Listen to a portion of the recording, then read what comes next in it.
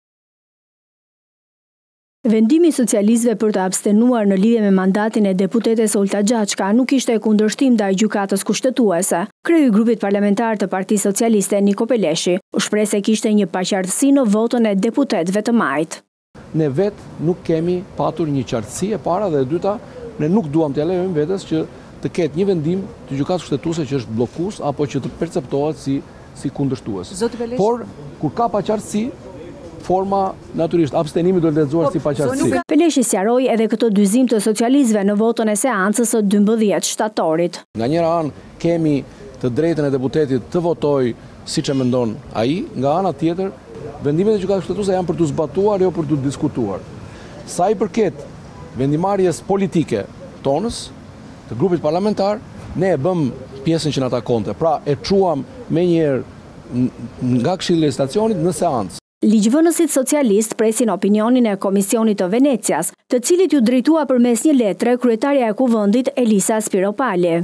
Pavarësisht nga roli këshillues i Komisionit të Venecias, ne çfarë na këshillon Komisioni i Venecias do ta zbatojmë pa hezitim. I pyetur nëse do të ulet me opozitën në tryezë për reformën zgjedhore, Peleshi tha se nëse ka diçka konkrete, ai është gati, por ende nuk ka asnjë propozim konkret për riprekjen e Kodit Zgjedhor.